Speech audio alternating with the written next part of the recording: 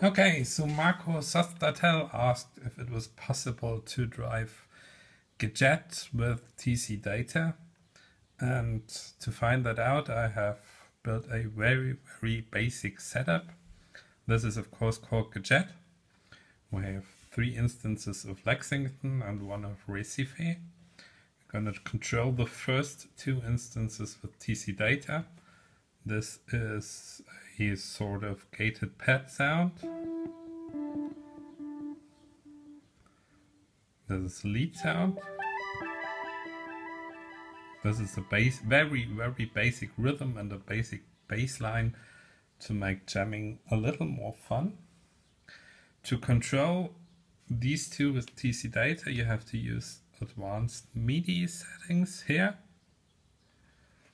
And I have this one on channel 1, this one on channel 2.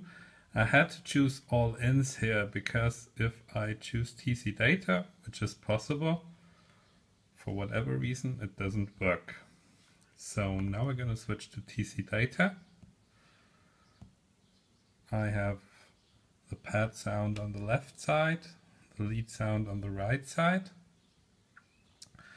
This is also not very complex because I'm not the best and most experienced guy regarding complex MIDI setups, but I'm trying my best. So, and let's now see if this works. So, as I said, to make jamming a little more fun, we have this here, a very, very, very basic looping. The green arrow indicates this backing track backing track sounds like this.